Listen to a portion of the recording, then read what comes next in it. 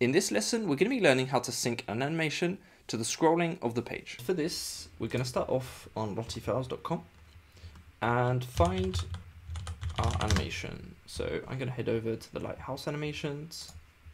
Uh, this one is this one works really well with scrolling.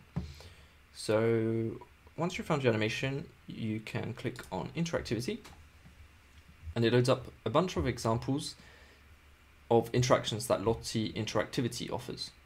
So as I said before, Lottie Interactivity is actually made by Lottie Files and Lottie Interactive, which we've been using in all the previous lessons, was made by me.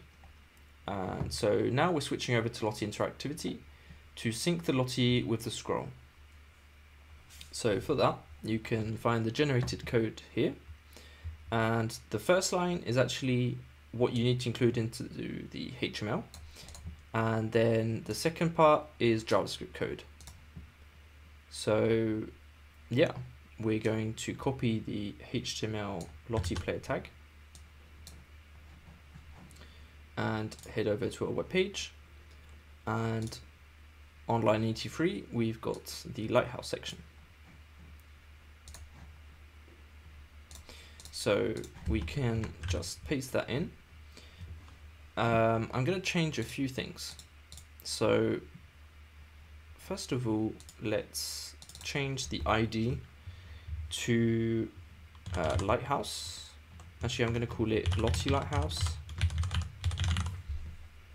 and you can use the assets on the website uh, but I've actually downloaded them and got them in the local project you will also have them locally if you downloaded the project in the animations folder um, and this can speed up load time so I'm just going to do that.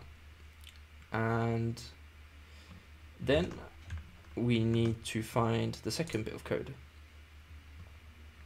So let's copy that. And as you can see, we're not copying the script tags because we set up our website um, to actually have our JavaScript and our HTML separated. So if you didn't follow the setting up uh, video, basically we've got a file called interactions in the JS folder. So that's where we're going to put this code. and now we need to change the ID uh, so let me just find the lighthouse again. There we go. So this needs to match up with the player here so this player ID needs to be equal to the HTML ID you set here so that it can find it and then let's see how that goes Okay, uh, let's reload it. Okay, okay. Oh, we've got an error. Uh, we've got an error because I put the wrong path.